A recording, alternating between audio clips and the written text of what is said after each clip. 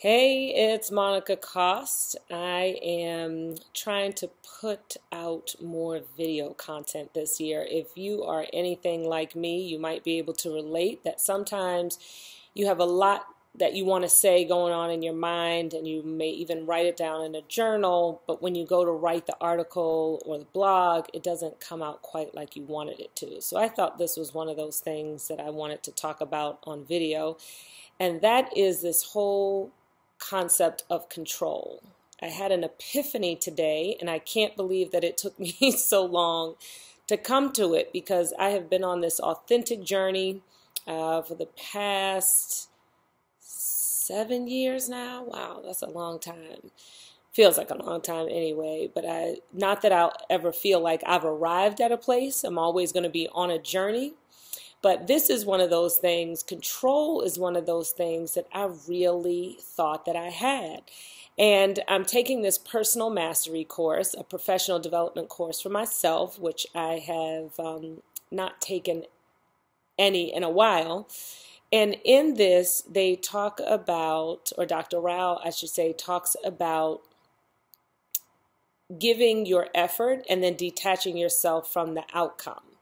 And when I first heard it, I said, oh, yeah, got it, no problem.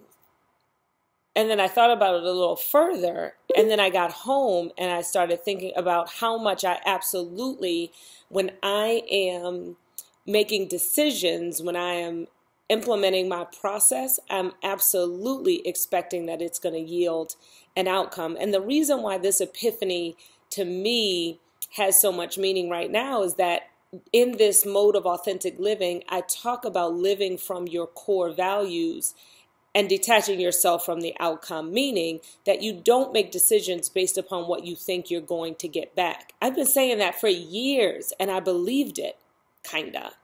But I guess I really didn't, at the core, understand that it applies to everything.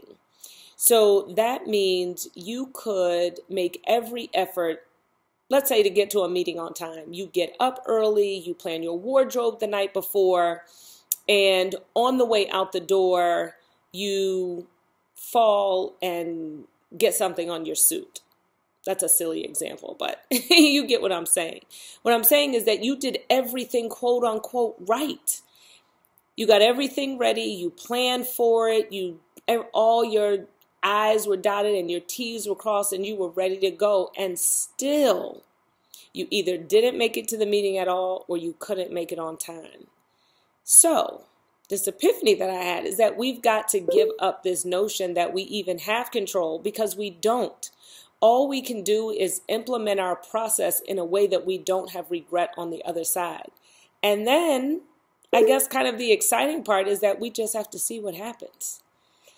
Now, obviously, that could go either way. It could turn out like you want it to turn out, or it could turn out like you don't want it to turn out. And I know most of us like to say when it, either way, or usually when it turns out the way we don't want it to, that people say, oh, everything happens for a reason. And we have all these things that make us feel better about why things didn't turn out the way we wanted them to. And then we give ourselves praise when they turn out the way we do want them to. And I think that it has finally clicked to me that we don't have control over it either way.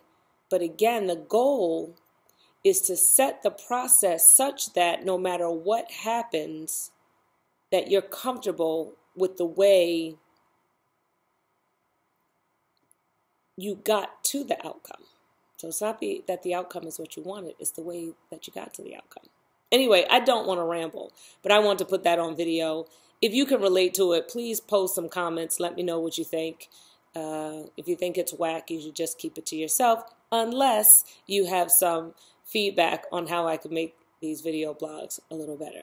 All right, that's it. Give up control, relinquish it right now.